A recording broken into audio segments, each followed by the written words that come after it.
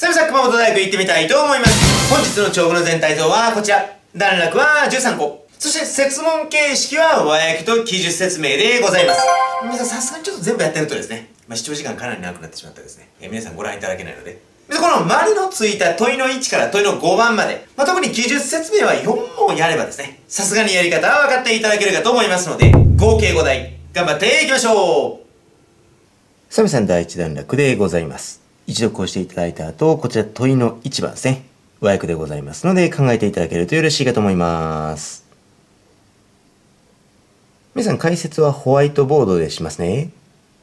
さあさん該当箇所を書き出してみました。皆さん模範解答はこの下の部分でございますので、こちらを参考にしながら見ていただけるとよろしいかと思います。皆さん色ですが、オレンジ、青、緑。でこれは上の S とか V とか、この辺りと対応させておりますからね。さあ皆さん一番先頭でございます。もう見ての通り SV は皆さん大丈夫かと思いますが、皆さん stared。皆さん、これはルックとと同じで自動詞でしたね。で、皆さん、自動詞ということはそこで自分で文系を終わらせる力がありますので、皆さん、at 以降は M。つまり、就職後ということでよろしいかと思います。で、もちろん、at の右側ということは、この青色のところも全部 M と考えていただけるとよろしいかと思います。そして皆さん、M ということは品詞で言うと副詞。で、皆さん、ちょっと説明の都合上、こちらに副詞と書かせていただきました。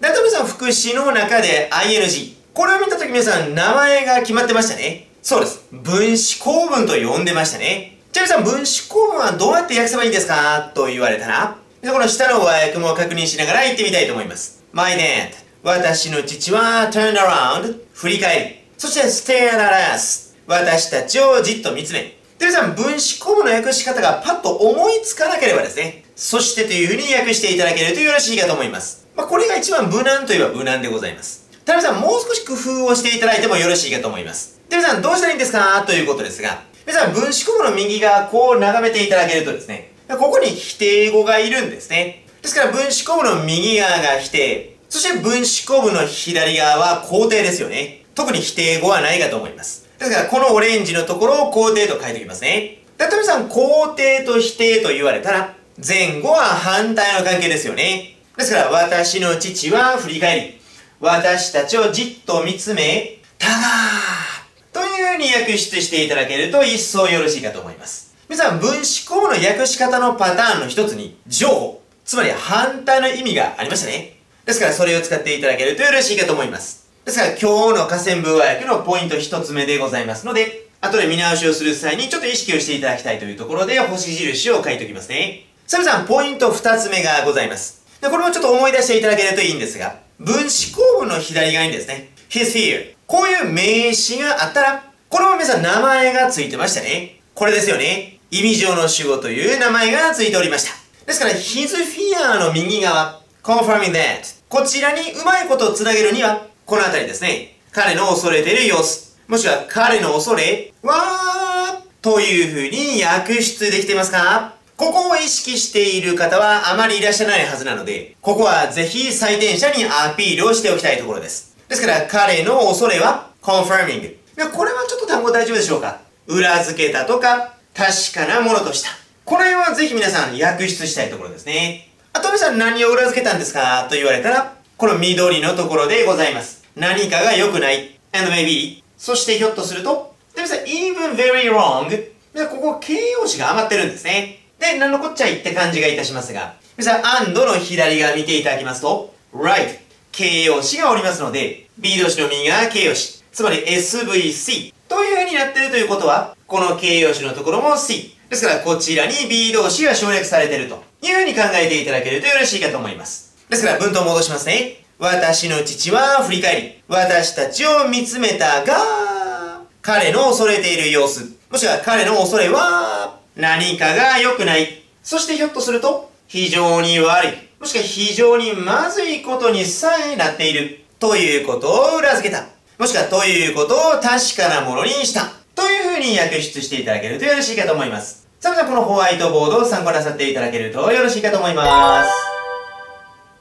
サムさん続いての段落でございます。一読お願いします。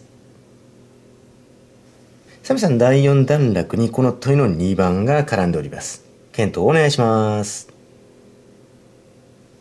デビさん、河川部2番を訳していただけるとですね、life was off 人生が離れているって何からって言われたら it's anxious 軸から離れているんですねですから人生が軸から離れているということはおそらくうまくいってない状況のことですよね。で皆さんそれが具体的に何を表しているのかということですが例えばこの辺りがヒントですね。お母さんがおりません。これは確かに人生が軸から離れていると伺いますね。でこのお母さんおりませんという話は一体どういうことなのか。皆さんこれ遡っていただきますと皆さん一つヒントになっていくのはこの辺りですよね。離婚に向かって進んでいる様子が伺えますね。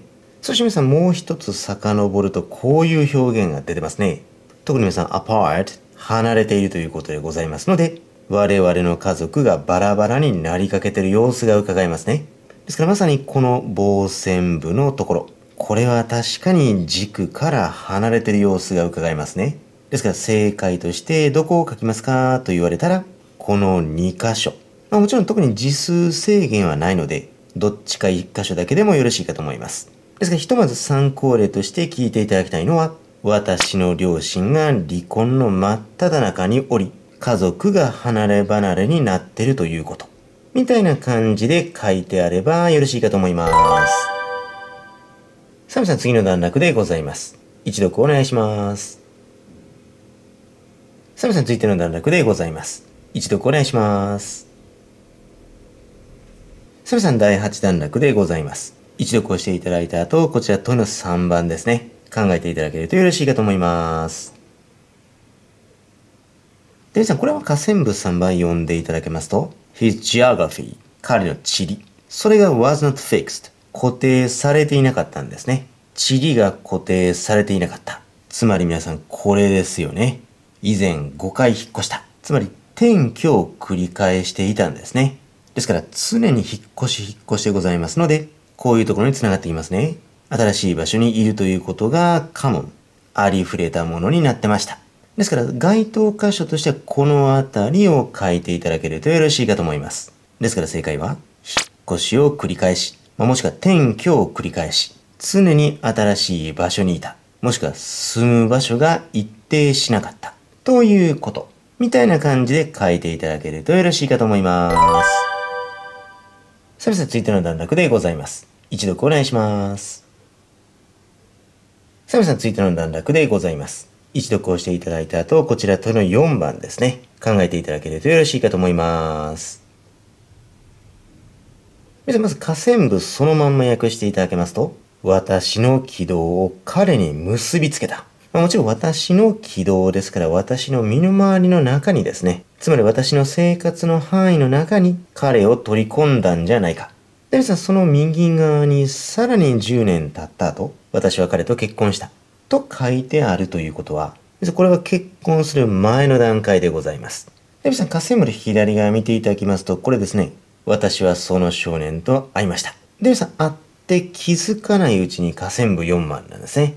ということは恋に落ちた。というふうに書いていただいてもよろしいでしょうし、その少年のことを好きになった。みたいな感じでまとめていただいてもよろしいかと思います。それでは続いて問いの5番でございます。検討お願いします。まずこれ河川部そのまま訳していただけますと、細胞のコンビネーション。それを皆さん world 世の中に持ち運んできました。もしくは細胞のコンビネーションを世の中にもたらした。で、皆さん細胞のコンビネーションって何やねんとちょっと思いますが、皆さん下線部の次の文章を見ていただきますと、ここに書いてますよね。子供が生まれた。ですから下線部5番は子供を産むこと。もしくは皆さん細胞のコンビネーションと書いておりますので、筆者と夫との間に子供が生まれるということ。みたいな感じで書いていただけるとよろしいかと思います。お疲れ様でございました。皆さん和訳と記述説明振り返ってみたいと思います。皆さん和訳の問題ですが、分子構文をちゃんと分かってるかどうか、意味上の主語をきちんと分かってるかどうか、聞いてましたね。ですから文法の知識を間接的に問うていますよね。皆さん大丈夫だと思うんですが、文法の単独問題が出ないからといって、文法形式は良くないですね。こういったところで聞かれております。そして記述説明。例えば最後の問題なんかは細胞のコラボ。そういうふうに下線部に記載がありました。じゃあこれをどうやって説明するんですか？ということですが、今回は下線部の右側に our first child で、そこから皆さん子供を産むというふうに書けばよろしかったですね。ですから結局皆さんニアリーイコール、言い換え可能な表現を探し出す。それが皆さんの仕事ですからね。ですから、ただ漠然と問題演習をするのではなく、しっかりこれですよね。どこに言い換え可能な表現があるのか。それをしっかり意識して頑張ってください。